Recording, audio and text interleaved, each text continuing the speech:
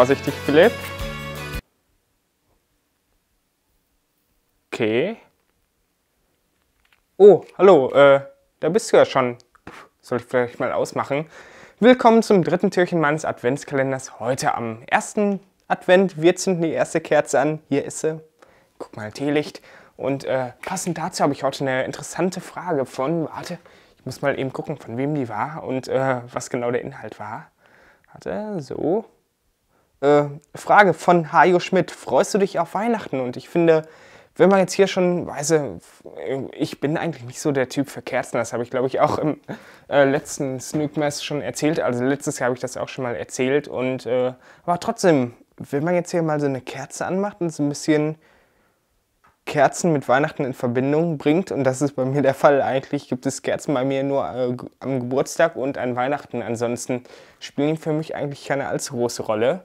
Dann freue ich mich doch schon irgendwie auf Weihnachten. Und wenn man jetzt mal überlegt, dass es noch 21 Tage sind, bis es endlich soweit ist, bis endlich Weihnachten ist, dann geht das doch echt schon ziemlich schnell. Und dementsprechend freue ich mich natürlich auch auf Weihnachten. Ist immer so eine coole Zeit, weißt du? Ist, das ist dann nicht so wie jeder andere normale Monat, sondern das ist dann so ein bisschen, es ist halt anders. Es hat so ein anderes Gefühl, so ein Gefühl von Weihnachten halt irgendwie hier, von Kerzen und äh, von duftenden Weihnachtsbäumen und so. Und deshalb freue ich mich echt auf Weihnachten. Nicht nur wegen den Geschenken, sondern einfach auch so wegen der Atmosphäre. Diese freien Tage, die man da hat zwischen Weihnachten und Silvester. Ist ja sowieso dieses Jahr doof, dass Weihnachten am Sonntag ist und wir bis Freitag Schule haben. Das trübt die Stimmung dann vielleicht doch noch so ein bisschen, aber letztendlich freue ich mich natürlich auf Weihnachten. Und ja, somit habe ich, glaube ich, die Frage beantwortet.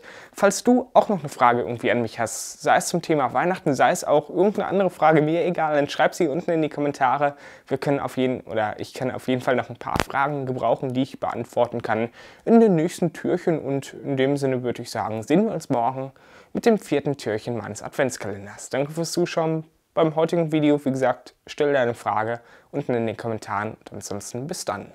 Tschüss. Wunderschön, oder? Es ist hier unscharf, aber egal, sieht auch cool aus.